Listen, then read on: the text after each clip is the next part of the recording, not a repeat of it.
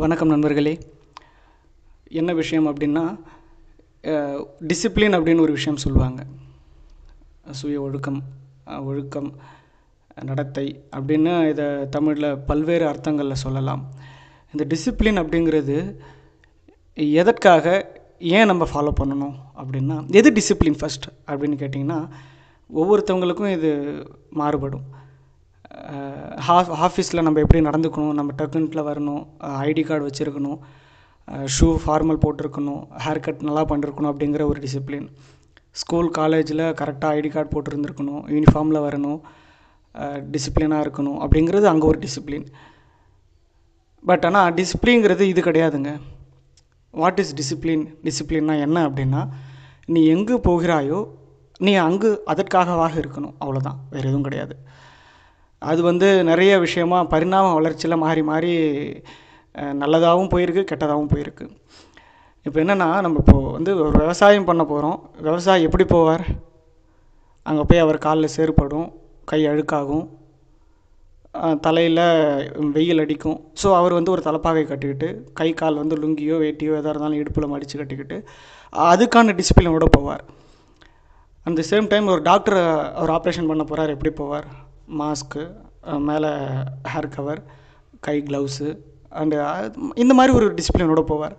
So இதுதான் discipline நம்ம வந்து டிசிப்ளின் அப்படிங்கிறது வந்து சுய ஒழுக்கம் அப்படிங்கிறதெல்லாம் தாண்டி அது வந்து நம்ம பார்க்க போகிற விஷயத்துக்காக நம்ம எப்படி இருக்கிறோம் நம்மளை எப்படி தயார்படுத்திக்கிறோம் அப்படிங்கிறது தான் நம்மளோட டிசிப்ளின் ஒரு சின்ன கதை என்னென்னா ஒரு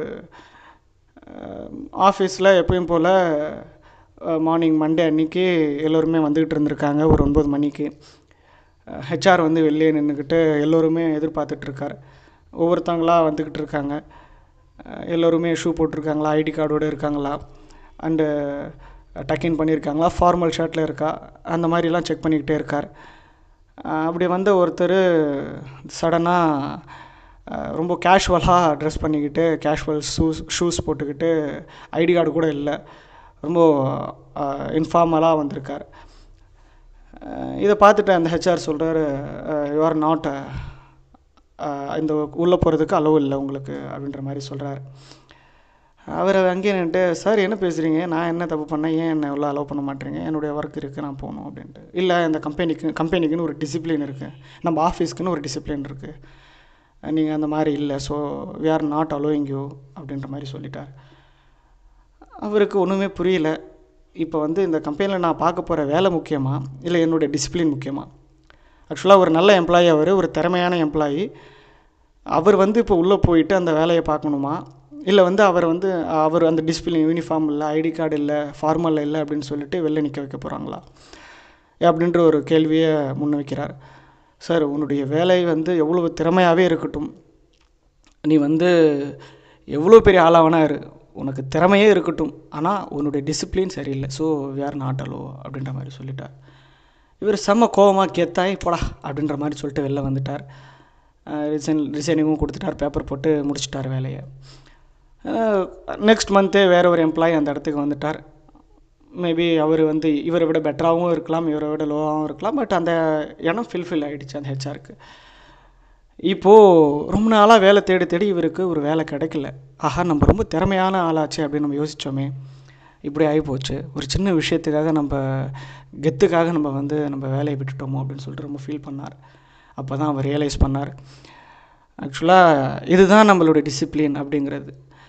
என்னென்னா ஒரு வேலை நம்ம பார்க்க போகிறோம் அப்படின்னா அங்கே அதுக்காக தான் போய் ஆகணும். எப்படி நம்மளுடைய ஷூட் இருக்கோ நம்மளுடைய அப்பியரன்ஸ் எப்படி இருக்கோ அதுதான் அங்கே ஒரு நடிகர் வந்து நான் வந்து மேக்கப் போட்டுக்க மாட்டேன். நான் வந்து இப்படி தான் இருப்பேன். இதுதான் என்னுடைய கெத்து.